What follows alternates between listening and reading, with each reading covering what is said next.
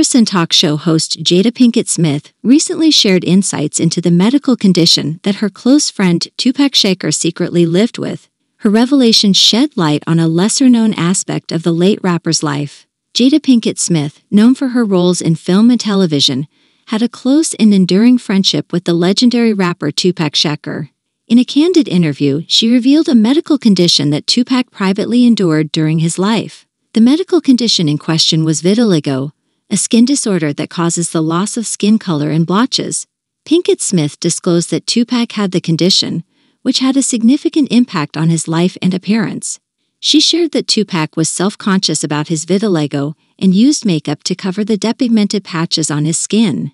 His struggle with the condition was a deeply personal and private matter, known only to those closest to him.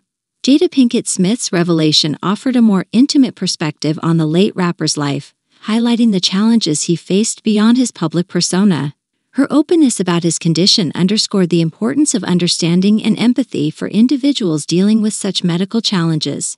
In conclusion, Jada Pinkett Smith disclosed that her close friend, Tupac Shakur, secretly lived with the medical condition vitiligo, a skin disorder that affected his appearance.